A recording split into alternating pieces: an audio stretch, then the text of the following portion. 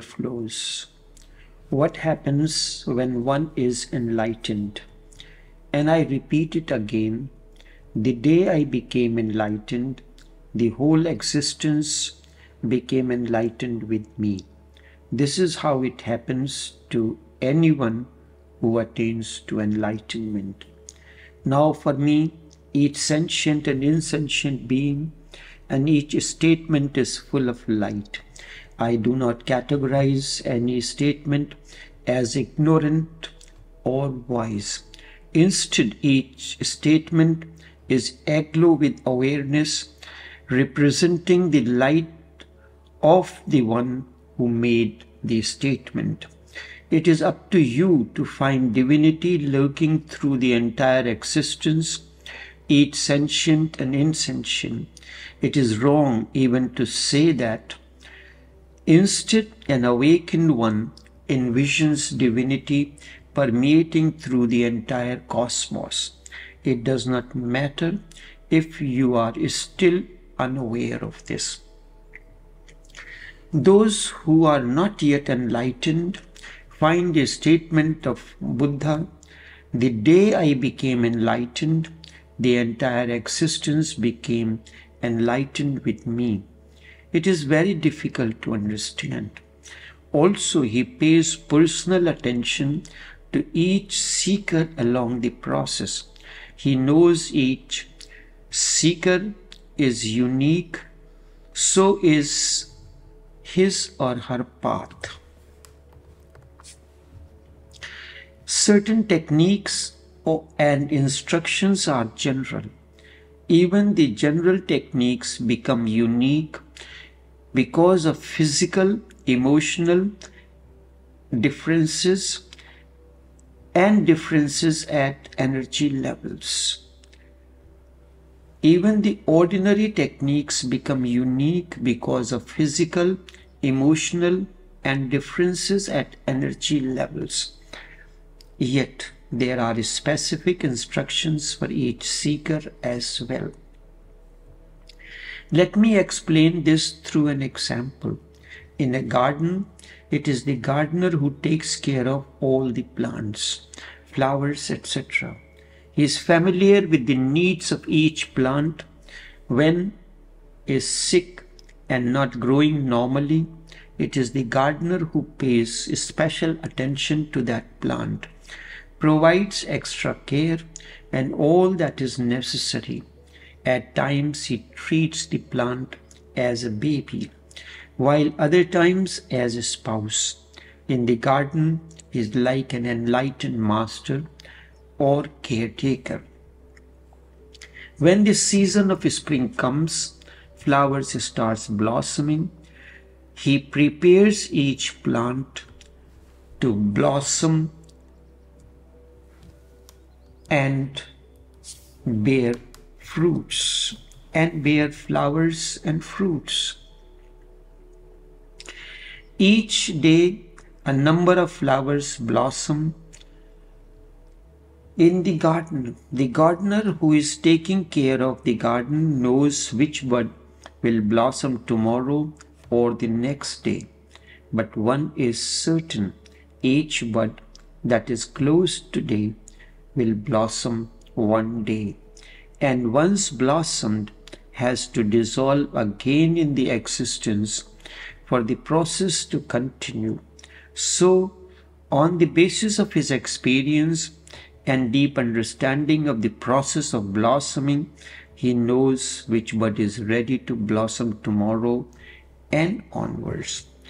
So too is the so too this is natural for an awakened one to know who is on the verge and who is ready for enlightenment like a quantum explosion. As a result, he pays special care and attention to that seeker. He knows that this seeker is in a difficult situation both physically and emotionally. Also at times his energy level is low. He pays special attention. Samadhi is the highest state of enlightenment. The Sanatan path or Patanjali Yoga Sutra does not speak of enlightenment because he was following a totally different route than Buddha.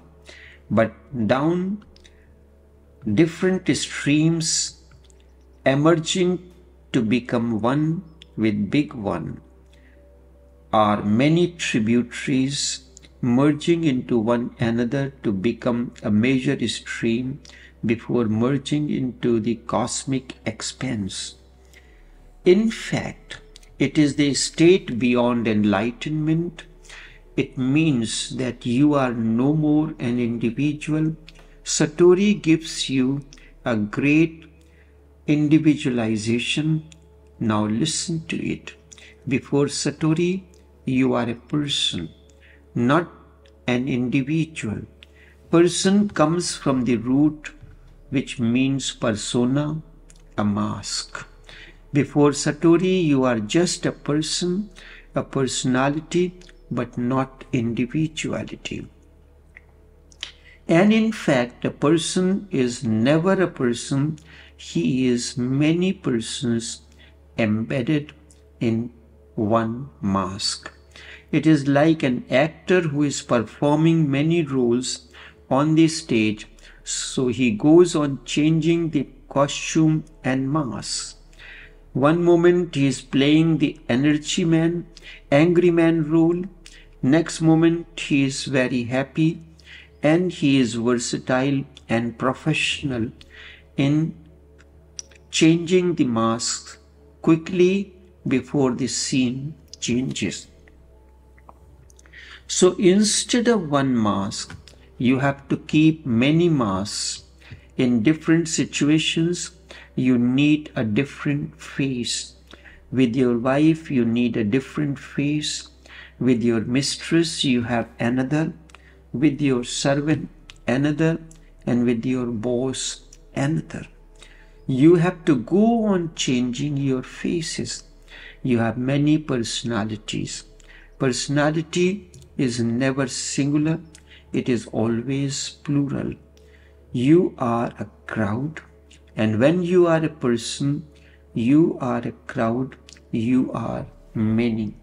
Satori makes you one. By and by, it brings unity, harmony, and oneness in your being. Those many faces disappear, the original face appears, the individuality. The words, the word individuality, indivi, duality, the duality that is not divisible is precious. It means that which cannot be divided. Satori renders you individual and Samadhi makes you universal then you are no longer individual either. First, you were not an individual because you were a crowd. Now again, you are not an individual because you are the whole. These are three stages personality, individuality, and universality. A mini Satori is a glimpse of your inner unity and harmony for a moment and then you lose the glimpse and again you are many.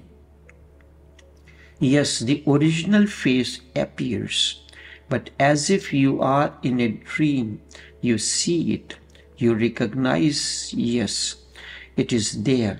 You feel happy, you feel tremendously blessed, and then suddenly it is gone.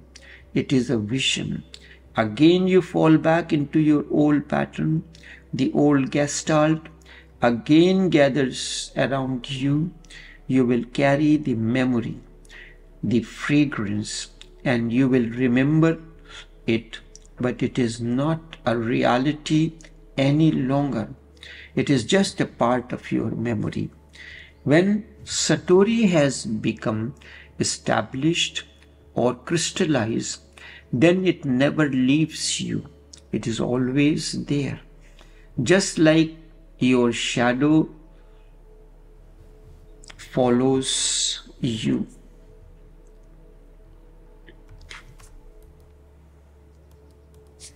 You have become an individual, then the individuality has also to be lost. First, you become one from many, and then become zero from one. This is the whole mathematics of spirituality. From many to one, and from one to nothingness, you attain to utter emptiness within. This state of utter emptiness within Buddha calls as Shunyata or Nirvana and Hindus call this as Samadhi or Brahmaleen absorbed in consciousness. The day an awakened one leaves the physical body and enters the formless existence, the responsibility of these closest to him, the responsibility of those close to him becomes even greater. Now these chosen ones have to manifest the awakened one through their presence and in a way to become him. As a result, the leaving the body, the awakened one, creates a challenge for one close to him. Through samadhi, he is leaving form and leaving one body. Now he can be in all other bodies. A Buddha, a Raman, a Ramakrishna, an Osho, a Lalaji, and all other awakened ones from one past, from the past, the present ones, and those who will follow feel absolutely certain, utterly happy that he has got the right people who are going to be the living books of consciousness. They are absolutely certain that awakened ones from the past, the present ones, and those who will follow feel absolutely certain, utterly happy that he has got the right people who are going to be the living books of consciousness, eternal temple of consciousness, totally consecrated. It all depends now on you because you are the one who is to spread such message all over the world.